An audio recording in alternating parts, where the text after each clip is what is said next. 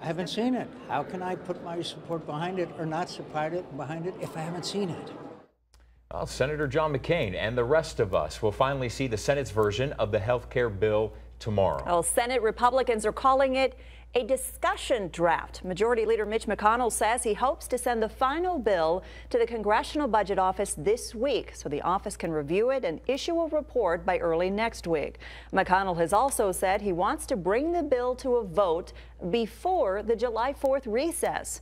It would only take three Republican senators voting against the bill to kill it. And that bill expected to be released in the morning. And tonight, opponents are now turning up the heat on Arizona Senator Jeff Flake to vote no. Tomorrow, a group known as Save My Care will start running ads in our state targeting the senator.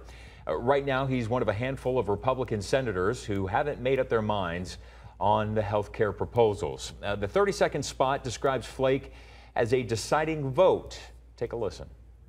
Flake decides whether your costs go up by double digits, whether you're one of the 465,000 who lose coverage, whether Medicaid is gutted, putting disabled children at risk. Flake decides if insurers can charge you even more because you're over 50.